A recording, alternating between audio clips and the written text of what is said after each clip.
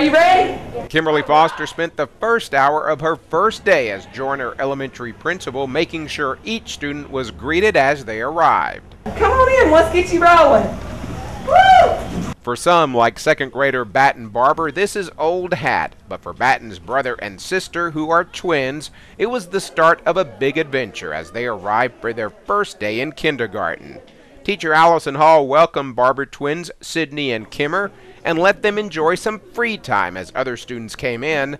This is Hall's eighth year teaching kindergarten. It's Just a big growth year, and they're, they, lo- they still love their teacher at this point, and so it's a good feeling, and it's a good year to see their little light bulb go off so many times that they discover they can do so many things that they might not have known that they could do. The twins, who are five but soon to be six, were drawn to the table with the Lincoln Logs. What were you doing over there at the table? building What were you building? a dumpster. And the twins are already thinking about the future. What do you want to do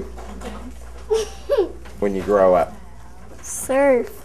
Your first day here, what do you think? Good. Have you learned anything? Um, not not yet. What do you want to learn about?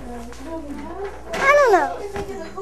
There's just so much stuff to learn, right? Do you like reading? Yes. Do you like math? Yes. Do you like science? Yes. Do you like boys? Yes. No. Just down the hall and around the corner, second grade big brother Batten was working on a lesson and thinking about his younger siblings.